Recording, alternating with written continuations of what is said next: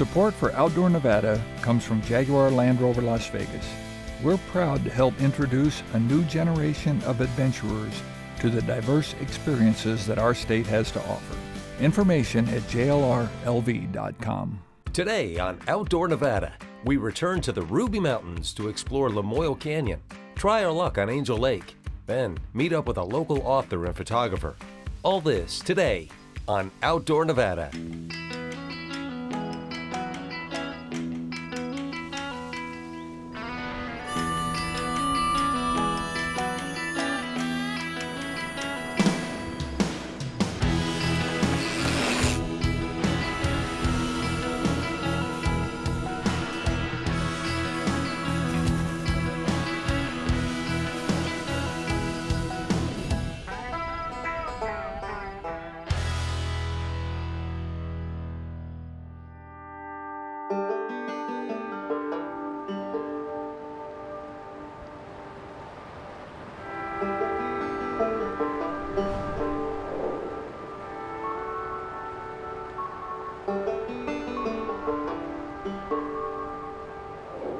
If there's one thing I've learned about the great state of Nevada, the more you explore it, the better it gets. I mean, just look at this. This is Lamoille Canyon in the Great Ruby Mountains. And better yet, your cell phone doesn't work here. How great is that? There is plenty to see and do around here, and I got just the guy to show us around.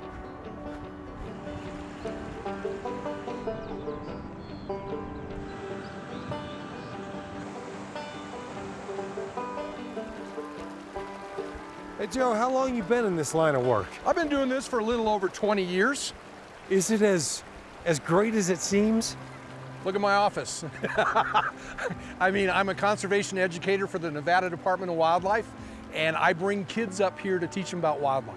What, what, what more could you ask for? Uh, nothing, uh, except that you, you also live in these parts, I don't do, you? I do. I live 20 minutes from here. And what is that like? Uh, unfortunately, you sort of sometimes start to take it for granted. I have these mountains in my backdrop, and I go sit on the back patio and, and grill a steak and watch the sunset, and day after day. I mean, You are killing me. Joe, let's talk elevation. What about the mountains and where we are right now? So the highest peak is Ruby Dome. It's 11,387 feet, just under 11.4. Um, we're probably right around 7,000 feet, maybe a little above. And then you go over Liberty Pass and you get up around 8,500, 9,000 feet.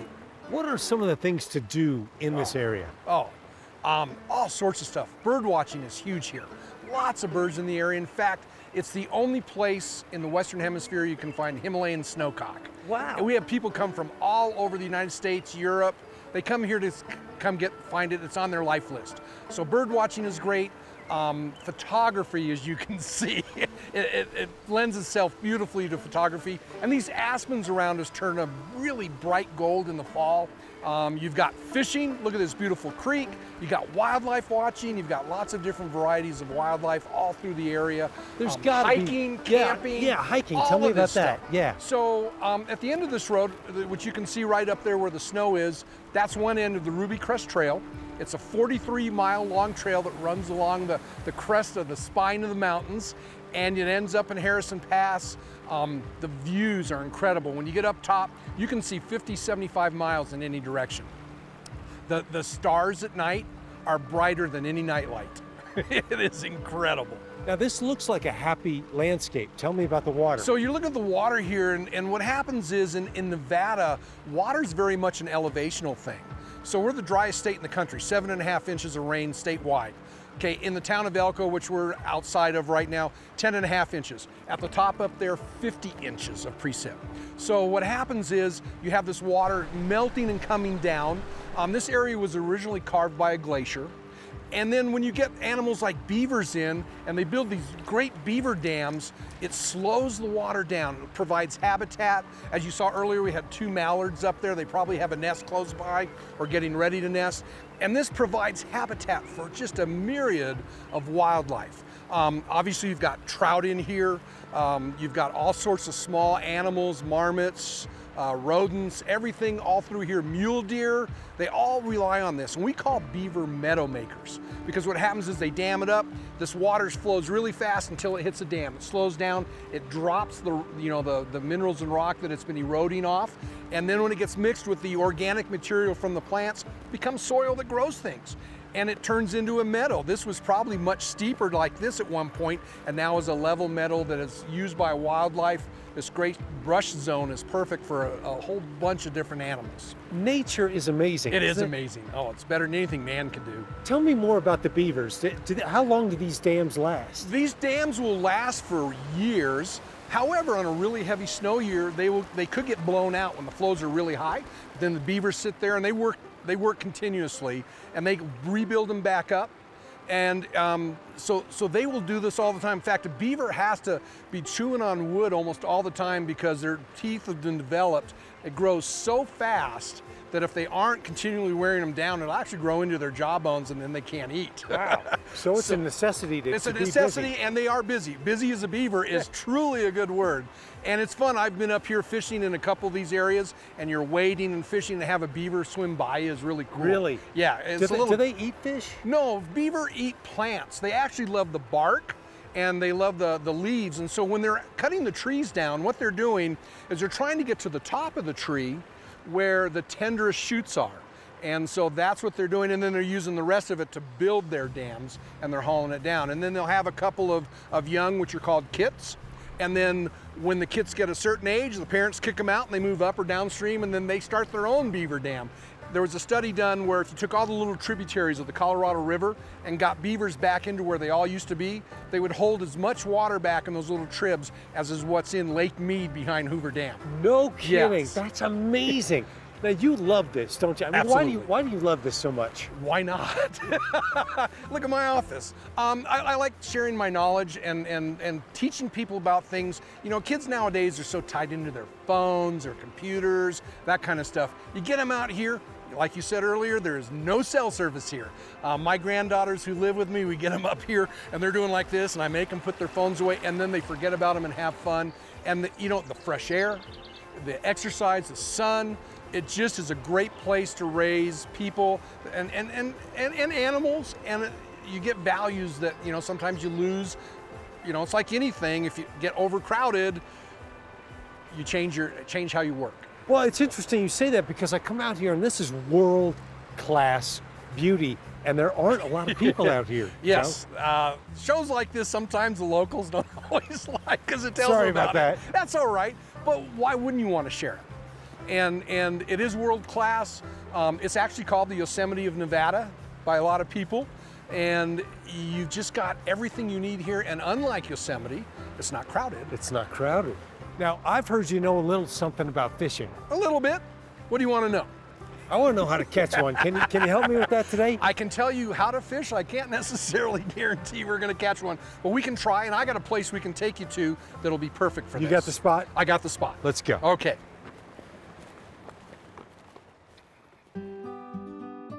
Deep in the heart of the Ruby Mountains, you climb about 2,400 feet on a winding road that is heart stopping. Pay attention on that. And when you finally get here, you're to find this alpine beauty, Angel Lake. Now, let's go find Joe and fish this thing.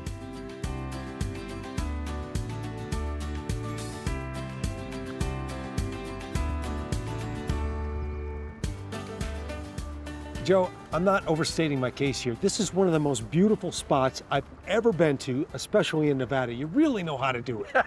You know, look at this. It's it's the first week of June. We still got snow behind us, but we're in shirt shirt sleeves, right? yeah. Um, this is a glacial carved cirque. It's a natural lake. It's called Angel Lake. There is a dam that was built in the 1920s to increase the capacity because they use it for irrigation down in the valley. Let's talk about the lake itself. How deep is it? How cold is it? So the lake is fairly cold. As you can see, there's snow. That's what feeds it. Um, it'll actually have probably four or five feet of ice during the winter. And this time of year, where it, the ice came off probably about three weeks to a month ago. So the water's mid 40 degrees. During the summer, it'll get up to a balmy 53, 55 degrees. What kind of fish you got in here? So we have trout in here, and we have three types of trout. We have rainbow trout, which are stocked every year.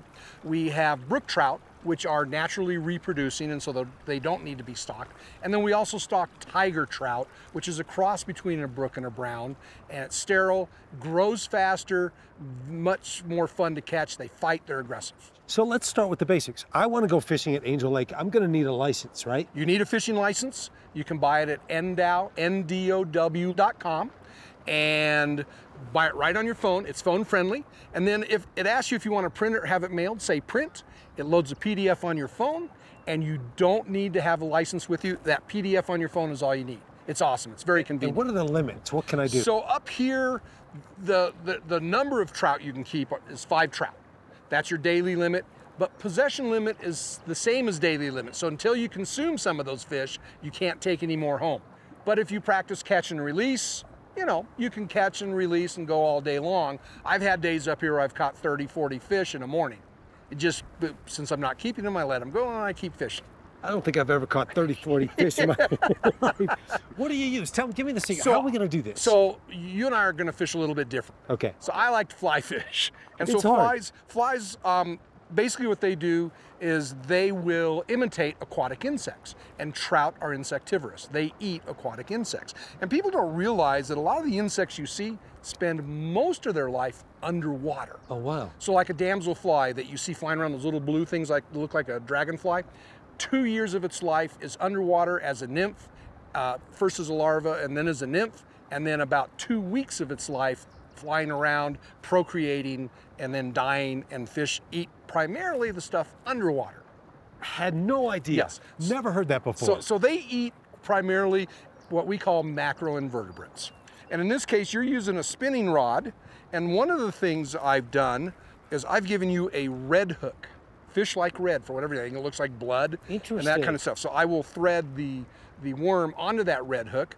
We've got a bobber that we can actually fill with a little bit of water and that will give it some weight to make it easier for casting but it'll still be up there where you can see it on the on the deal. And so basically and i've got a little piece of sinker to help keep that worm down where the fish are because the fish are not necessarily up close to the surface. And of course you know the good old worms and you've got these worms and you know how to tell if a worm is going to catch a fish? How? Tell me. okay it's the easiest thing in the world. Moms your kids are going to love this. If it tastes good to you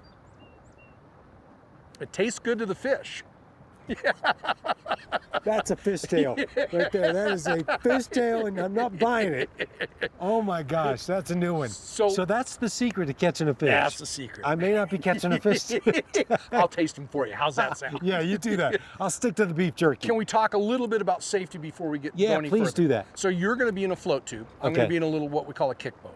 Um, float tubes are inflatables, so you got to wear a PFD, a flotation device. So if God forbid something happens and you get end up in the water, you're still going to float. If you feel your your float tube starting to get a little low, don't try to get back to where you started. Huh. Go to the nearest shore. Hey, Joe, let's go fishing. Let's go. From there, Joe got me suited up and into the water. This water is cold. Do the fish care if it's windy? Um, some of my best days have been on windy days. Okay, I like your attitude. Let me bring the net. I have a net. All right. You catch a fish, I'll come. We talked. We floated. We floated and talked.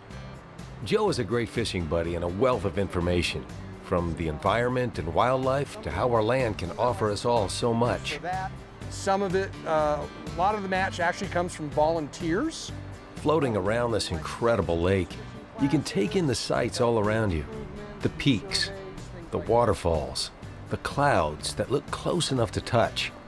It's a magical and calming experience. Tell you what, Joe, I hope the fish don't bother us. I could do this forever. The fish didn't bother us. Not once. Joe said it best. It's called fishing, not catching. Didn't matter to me. I had a great time. When it comes to visiting Angel Lake, the timing is very important. You definitely want to check the forecast to make sure the weather is right. Though it was a bit windy, we couldn't have asked for a better day. Feeling comfortable in that? Yeah, I am. Good. You should do this for a living. The Nevada Department of Wildlife and U.S. Forest Service have done an amazing job at keeping this area pristine. barely a sign of trash. And that being said, when you do visit, do your part to keep it this way. Even though the fish weren't biting, I could have spent the whole day at Angel Lake, easy. But I decided to head back and explore more of Lamoille Canyon. One of the many beauties of Lamoille Canyon is that there's plenty of hiking trails for all skill levels. This half mile hike is perfect for the whole family. The trail winds through a sea of aspen trees. The rustling of the leaves is soothing and calming. Eventually, you'll find yourself walking along a stream and several small ponds. You'll also find yourself stopping along the trail to take it all in. To really appreciate Lamoille Canyon, you have to see it in person. It's a thing of beauty. Look at this. You know, the state of Nevada always gives you a little more than you're asking for. If I were to say to you, come to Lamoille Canyon, you'll find a, a beaver dam that's been abandoned.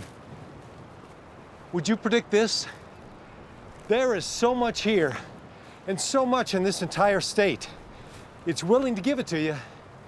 You just got to go a little further. I continued my hike, and as luck would have it, I met up with Cynthia Delaney.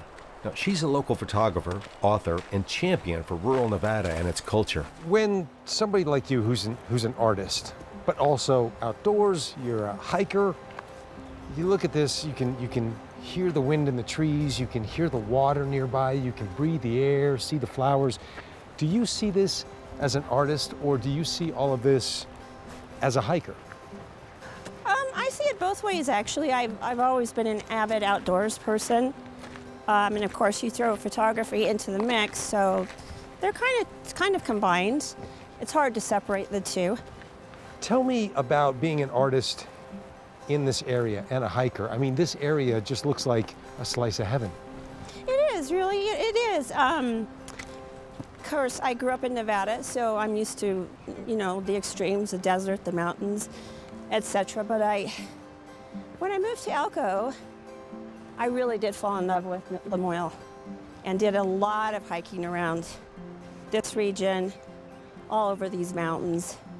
You know, it's interesting you talk about the extremes of Nevada because I think a lot of people think of a, a, dusty highway between Vegas and, and LA, but I mean, look at this. Oh yeah, we actually, we have water in this part of Nevada because we often have heavy snowfall in the mountains and then come spring when it warms up, there you go.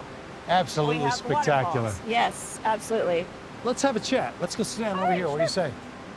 I got about a thousand different questions for you. Okay, sounds good. well, let me ask you this.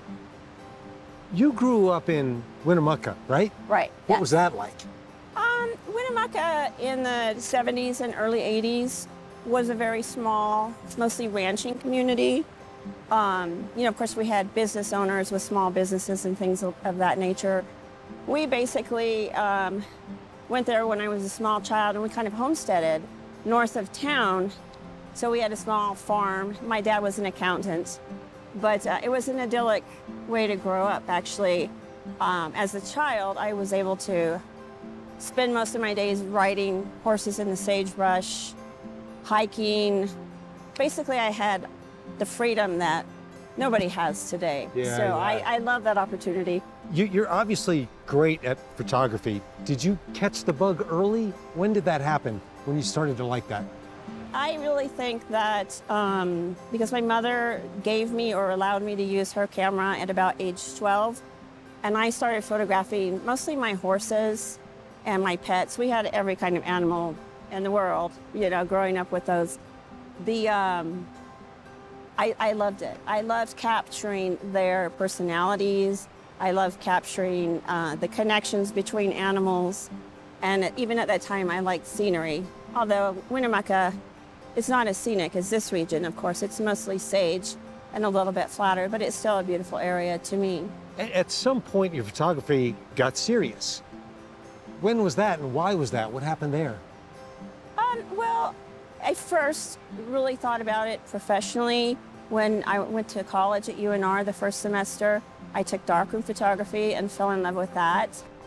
But there was always that little voice in the back of my head that says, you know, artists never make any money. So I decided to be an anthropologist, right? Great. so anyway, um, I pursued that route until the early 90s, and then I realized my true calling was photography, and then that's when I went to school at New England School of Photography in Boston. And I kind of never looked back, actually. When, when did you know that, hey, I'm pretty good at this? Um, I probably thought I was really hot in college, although I just was learning, you know, but it, to me there was a connection, an emotional connection, and of course a, a very visual person. So there was that impact, that visual impact with black and white that really struck me. And then after I started photography school in Boston, I knew that I could somehow or the other make a profession out of it. I, I didn't know what I would be doing then, but I just knew that I loved to photograph and I loved to write. And I've been photographing and doing some writing almost since then. Tell me about your book and, and what can people see in there? I, I wrote my book uh, primarily as an educational resource so that my students at the college could learn about the beauty around them and go out and experiment with their own cameras. But it's also meant for tourists, it's meant for anybody who enjoys Nevada or the outdoors, and especially rural communities, because I also go into some of the smaller towns. We have a lot of neat history here in Nevada, Definitely. you know, and with the gold mining and, and this and that. So I kind of captured that as well. Um, it's really a guide for just about anybody who is interested in seeing a part of Nevada that mostly remains uncaptured. I mean, most people, I travel a lot, I've traveled the world.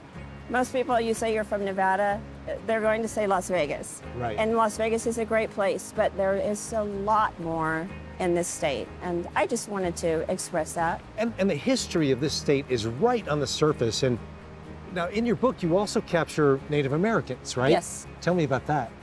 Well, I actually have a number of Native American friends, and as I grew up in Winnemucca, also the same Paiute people, and I've remained close with them. I really appreciate their culture, um, and particularly in Elko, I like to go to the powwows when I can because it's something I didn't grow up with, but it's a magical experience for me the way they dance and they express themselves visually and emotionally it's their culture coming out in their very dance the sound the colors everything is is beautiful and different to me and i just find it fascinating You've also photographed cowboys. That's a big part of Nevada history as well.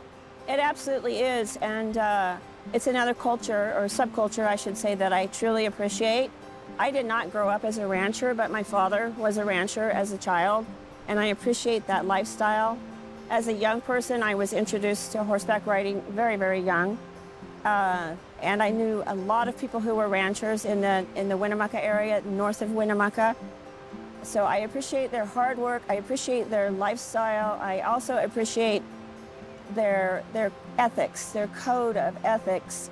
And visually, you can't get much better than a cowboy, right? With the hat and the dust. I love rodeo also, I have to tell you. And we have an amazing rodeo, the Silver State Stampede, every year. And I have photographed that thing a lot. And I've done it. you have done it? I've done it, You yes. have. Well, then we have something in common. That's right, It's that's the right. action and the dust and the and the animal ver- and the man versus each other or working together That's that is right. just so intriguing. I am so glad in life that you found your passion, you followed it, and now you're you're offering it for others because you're so talented and your work is so valuable on so many levels. And I just want to say thanks because it's so good to spend time with a fellow storyteller like you. Thank you. Absolutely. Thanks.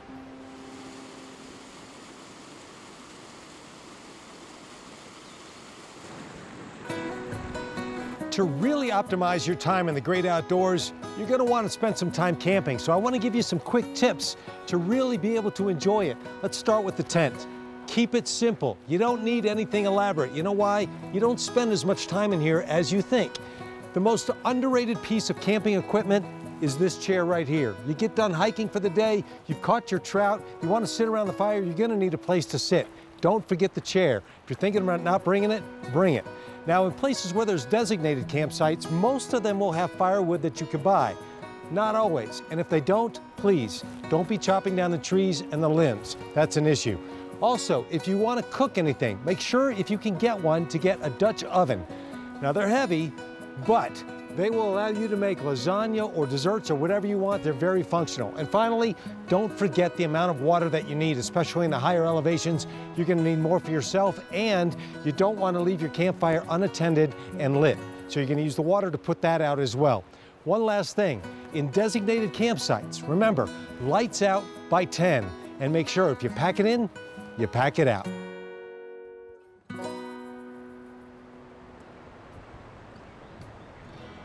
Lamoille Canyon in the Ruby Mountains was formed by a glacier that swept through here thousands of years ago, and it left in its footprint an absolute natural wonderland.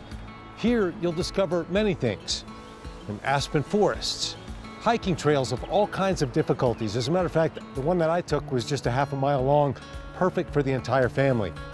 You'll also see an amazing waterfall that seems to start from the heavens and flows endlessly into Lamoille Creek. And there you will see an abandoned beaver dam that is just something for the eyes to behold. This place has been called the Swiss Alps of Nevada. Whoever said that got it right. Lamoille Canyon in the Ruby Mountains. You don't have to fly international, but once you arrive, you'll feel like you did.